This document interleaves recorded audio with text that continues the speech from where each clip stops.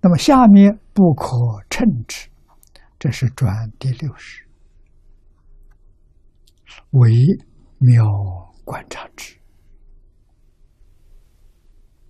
啊，这个智慧观察不思议境界。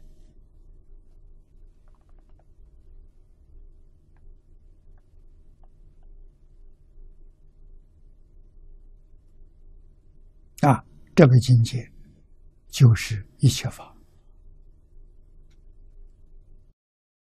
我们凡夫没发现，把这一切法当真，他们发现了。这一切法如梦如幻啊，就像我们睡熟的时候做梦。不知道自己在做梦，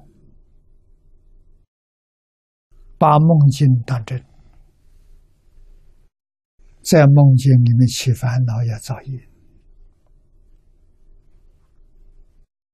如果做梦的时候忽然觉悟到，哎呀，我这在做梦啊那梦中境界都是假的，都不是真的。啊，梦到在一个房间里面，这墙壁隔了过不去，做梦啊，假的，去去看，哎，一走就走过去了，真的不是，不是真的，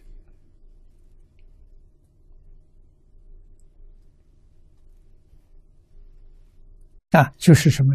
你没有这个概念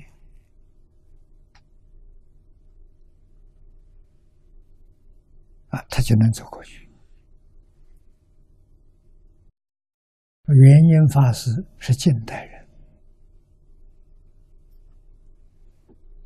在《圆觉经》讲义，这是他老人家最后的一本著作，啊，他一生的著作，成功的著作是晚年两样东西，《楞严经》讲义跟这个《圆觉经》讲义。啊，这两样东西写得好。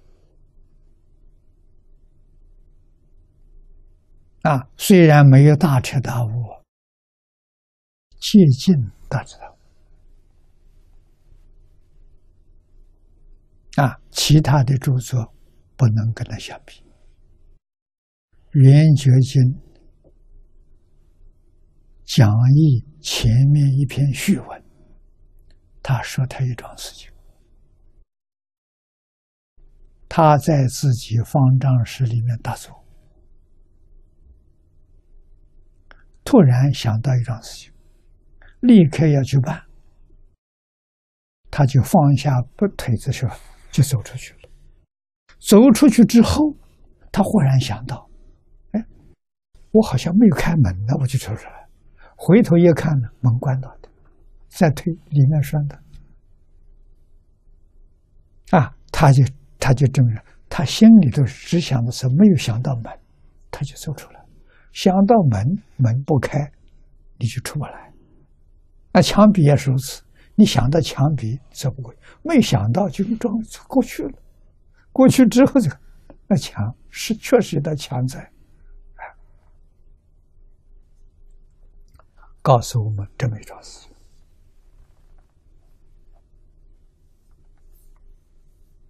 啊，那么他再再就有念头了，再就进不去了。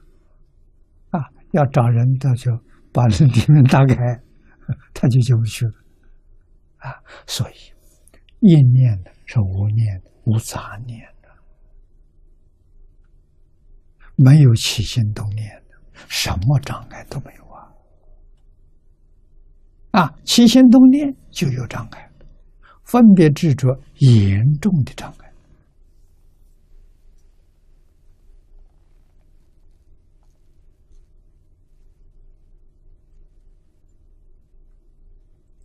啊，那么这是近代的人，距离我们不远，啊，不到一百年。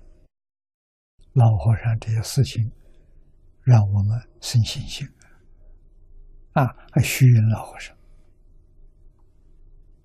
脸谱里的我们看到的，啊，老和尚的心清净，常在定中。他住茅棚，茅棚距离道场走路要走半个小时。啊，他在道场拿了一些吃的东西，生活必需品。啊，蔬菜呢，都是自己在茅棚旁边种一点。啊，带回茅棚，也是过年的时候，啊，办年货，啊，拿了之后，天是黄昏了，但是还没有黑，啊，他就回茅棚，他走得很慢，也都在定中，走到半路上。遇到寺庙里两个出家人，大家都认识嘛。哎呀，老和尚，他就天这么黑了，你怎么不打个灯啊？老和尚一听天黑了，马上天全黑了，看不见了。他怎么回事？我刚才没觉得了，没觉得天黑，我看得清清楚楚啊。你这一说黑了，我都看不见了。他们两个打了灯笼，送他回去。啊，没有人提醒他，永远住在这个同一个境界里头。啊，没有感觉到天黑，他看得很清楚。啊，人家这一提，心里有个天黑了，就真的都黑了。啊，这这一切法从心想生啊，念头多重要啊！